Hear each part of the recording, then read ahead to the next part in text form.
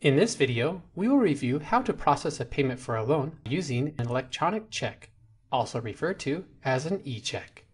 You must first access the loan. Then select the Payments tab. Once on the Payments page, you can either log a manual payment by selecting Log Payment, a debit or credit card payment by selecting Debit, an electronic check by selecting e-check, or an electronic check for Canada by selecting EFT. In this video, we will select eCheck. If your merchant service settings are set correctly, you will be redirected to this page. Cash Drawer. If you're utilizing the Cash Drawer tool, you can select from the Cash Drawer options to deposit the funds into this drawer. Amount.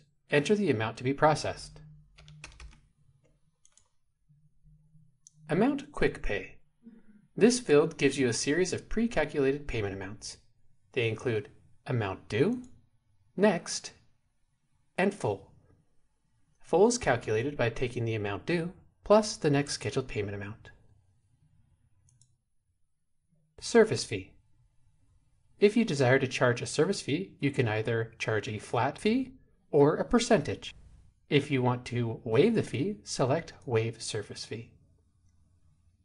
Payment date. The date you want the payment to apply towards the loan. Info. This field is used as an additional note field to use at your discretion.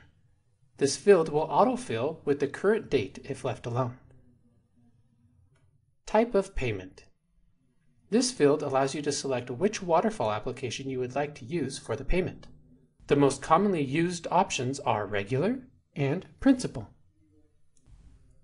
Please note that when making a selection in this field, a description of the new payment type will populate under the Waterfall application header.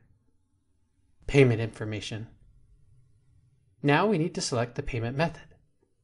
You can choose a one-time payment, create a new payment method, or select from payment methods that have been saved in the past. If you choose one-time payment, you'll enter in the bank information, and after it's been processed, the information will not be saved. If you choose Create New Payment Method, once the payment is processed, the payment method will be added to the payment method saved on file. In this example, we'll choose one that's already saved on file. Now that the information is added, we'll select Process Payment. You will now be served with a payment authorization window. Please note that this payment authorization window can be edited in the company settings.